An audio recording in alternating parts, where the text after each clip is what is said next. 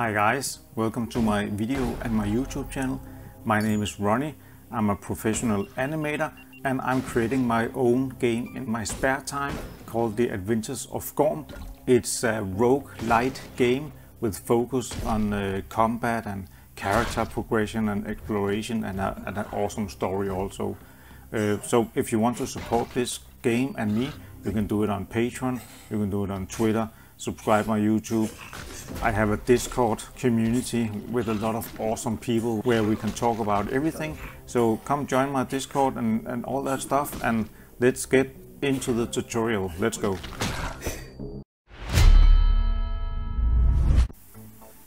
Okay guys, as you can see I'm using uh, this uh, technique on almost all of my stone assets in the game like, like floors, floor cubes, uh, windows, window um, walls for the game. It's, it's the same thing all the way around.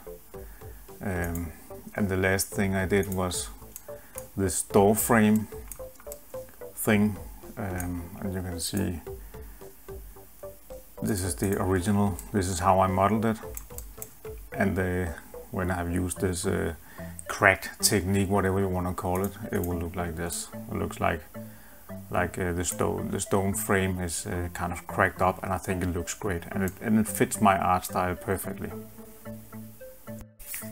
And I mean, mostly I'm doing this tutorial for myself because I did these uh, walls um, a long time ago, like over a month ago, uh, when I figured out this technique. And then I wanted to do it a few days ago and I just couldn't remember how to do it.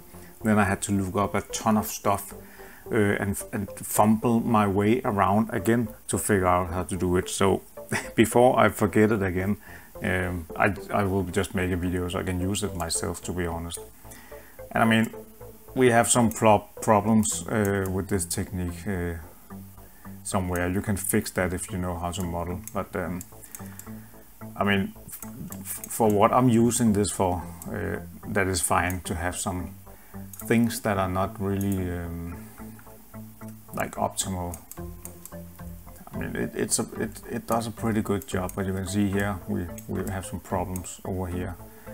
Uh, but I'm just going to ignore that because because of the game I'm making, we're not going to get really really close to uh, to these objects so uh, I can get away with uh, a lot of these errors but I'm pretty sure you can fix them. Uh, I don't know how to fix many of them so I'll just leave them. But I will show you how I have done this. Okay so we have the model here which contains of four pieces. I will just show you one piece I think. Um, so we need to make a new collection. New collection, call it. Um, door frame cracked or door frame A cracked and then just put this on the I mean put it where you want doesn't really matter. But make sure that it's the selected um, collection right? So we need to click on the model we want to break up. And then I have on my quick bar I have the cell fracture. I can't remember how, how you access this without the quick bar. I put it on the quick bar a long time ago.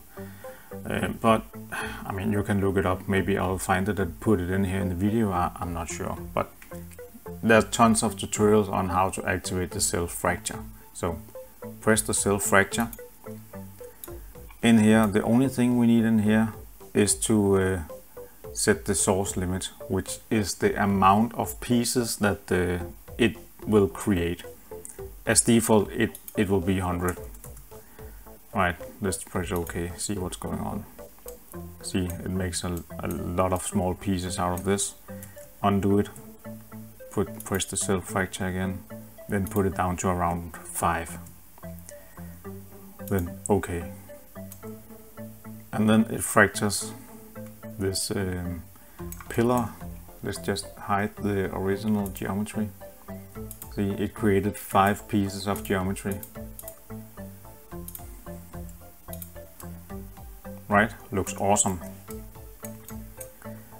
So first we need to clean up these uh, these new pieces. So we select all the all the geometry, then we go into edit mode. Then we select vertices and now we need to, you can see there's a lot of extra vertices here and there. This is really not too bad. See, there's also one here. There's some extra stuff laying around. This is actually pretty good, but normally there's a ton of extra vertices. And this top cut over here, uh, that that's that is a very straight cut, right? Anyway, we need to get rid of all these extra ones. So we go up to the mesh and then we select the cleanup and then we select limited dissolve. This should remove all these extra ones, which it didn't do. Why didn't it do that? Maybe I need to select all vertices. Let's try again. Mesh, clean up, limited dissolve. Yes, see now it disappeared down here. So that worked. This is probably going to be a problem area too. Um, I mean, when you do your cell-fracture you need to try and look out for problem areas like this and also here these will become a problem when we bevel. Uh, but that's just the way it is. Then you can just undo your cell-fracture then do it again and hope for a better result right? That that's how I've done it. I've done this many times on the same object to get uh, a result that I like. So now the thing is that we also need to mer merge vertices together because there should be a lot of vertices down here lying in in, in uh, clusters right? We need to get rid of all those. So select all the vertices again and then press we can right click and you can find the merge vertices by distance. You can also just press M on your keyboard and select by distance. And you can see in the bottom it removed 72 vertices from this model. You don't see it, but they are lay lying on top of each other. So they have disappeared now. So there's two ways I have figured out how to bevel this stuff. There's the standard way in Blender using Blender's bevel, which which causes uh, more problems than I like. Uh, for the stuff I'm doing here, I'm using a free add-on called Soft Bevel, which will bevel just like a default Blender, but it will kind of fix all these um, areas where, where vertices are kind of crossing over each other and creating this uh, flickering uh, destroyed geometry. Let me show you Blender's way of doing this first. Maybe you just want to use uh, Blender's default. So you go into uh, edge mode. You, if, and if you go into wireframe you can see these blue edges here. I think they're blue. I'm colorblind so so maybe they're not blue but I think they're blue. These are the cuts that the cell fracture have created right? And these are the parts that we want to bevel. So I can select one edge and then I can select the I can click shift and G and press the sharpness option here that will select all other edges with the same sharpness. And for some reason that's all the new um, cuts. So now it's selected all the the identical um, edges right? So we're going to solid again. And then we just press Ctrl B to bevel and we will set our size. You can see down in the bottom it, it screws up if I do it too big. And that's just how bevel works in all programs, right? Uh, so I will just leave it. And then I can set how much I wanted to bevel. 5, I think I have used 0.5 for the bevels in uh, in my game and you can see this is a problem down here. You can go in you can select uh, vertices and try and move them around. So to try and fix these problems right? But I mean I don't think anyone wants to spend time on doing that. But again for my game things like this is not really a big problem because you'll be seeing this geometry uh, far away as I'm having a side-scrolling action game where the camera zooms pretty far out, right? Uh, so you can try and fix all this if you want. I don't want to do it, so um, let me just undo all this and I will show you a slightly better way of doing it perhaps. So instead of selecting all these blue edges, I will go into to face mode um, and I will just take one piece at the time. Oh, sorry, I need to go into object mode first. Select one piece. Right, I can hide the other pieces around it. Um, and then I go into edit mode and then into face and then I select the faces which has been cut the inside and I think that is what the the blue edges are going all the way around the cut. So I think this is the cut for this one right? So then again this new add-on is I don't know if it's new doesn't matter. An add-on called soft bevel. I've put that on the favorite quick menu again. And I'm, again I'm sorry I can't remember where you will find this as default but the installation guide. I will leave a link to this plugin in the description below right and it says where you can find it when you have installed it alright so select the soft bevel and look at that fine job and the thing is with this soft bevel is that if you turn up the bevel it doesn't destroy the geometry the same way as the normal bevel does. So let's just leave it at 0.05 as we did before. So that is that piece. Go into object mode, select another piece like this one. Edit mode, face, select the correct faces again I'm not sure if this one I don't think this one should be selected again you need to you need to figure out where the where the cut faces are I'm pretty sure there's a shortcut uh, so it can select it automatically just with like with the edges. I just don't I just don't know about it. So um, yeah so quick menu select the soft bevel and it remembers your setting from before. 0.05 looks fine. I'm not sure about this piece up here but uh, again nothing is really broken right see we get these nice cuts down.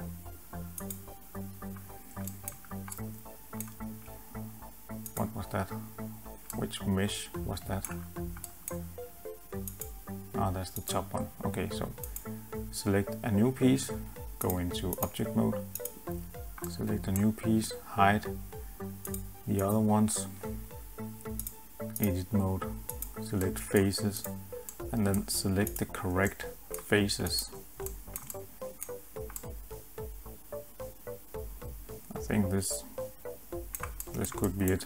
Quick menu, soft bevel, and we get a, a pretty nice bevel with no real problems. I mean, this can also give you a ton of problems, but I, I've been lucky with this, you know, cell fracture seed. Um, this could look much worse. Uh, I'm actually surprised that we're getting so few uh, problems. So get into object mode, select the next piece, edit mode, face, select the correct faces, quick menu, soft bevel, 0.05, looks awesome. So what else do we have? Ah, we have the top one. I think this is the last one, object mode, selected. Edit mode, again there must be a faster way of doing it, but I'm new at Blender so I don't know anything about it. Select the correct face, quick menu, soft bevel, done. Let's unhide everything. You see we have an awesome looking cracked uh, pillar here with actually no problems at all except this I mean this cut up here looks a little that that is very straight right? I will probably go all the way back and get a new cell fracture variation so we don't get this completely straight line. But I mean guys that's it. That's how I do it on uh, on all my models that needs to be cracked. I mean these cracks are pretty big but again it's because I need to see them from a distance like this right? I might be showing you some gameplay right now of some of these cracks in the game. Um, so they need to be big for you to be able to really see them. Um, again guys that's it. That's how I make my cracked stones on all the geometry I'm doing. I think this may work best on low poly objects. I haven't tried it on high poly objects but uh, with this uh, soft bevel add-on it, it should fix a lot of problems when you're doing bevels right? So uh, again give me a subscribe and like and all that stuff. If you find this video useful and I will make sure to try and make more stuff like this in the future because I really want to make more tutorials and and other kinds of videos to help you guys out when you're making your games right? So again thank you very much for watching and see you next time.